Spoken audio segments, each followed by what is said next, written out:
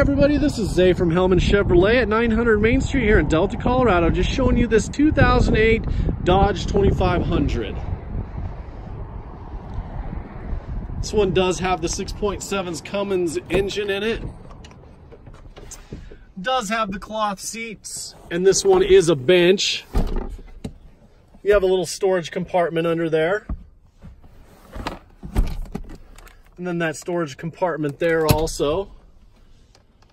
This one does have the power slider, engine brake, four-wheel drive, single CD disc player, automatic transmission, cruise control, does have a tuner on it,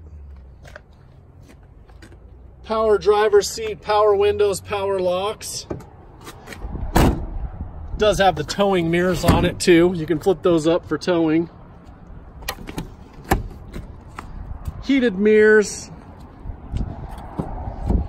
this one is a quad cab. Does have the flatbed on it.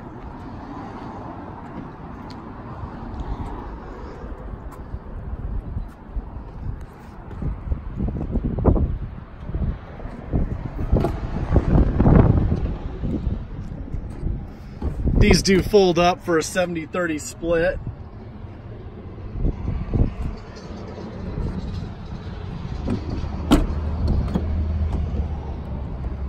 It's just a manual passenger seat.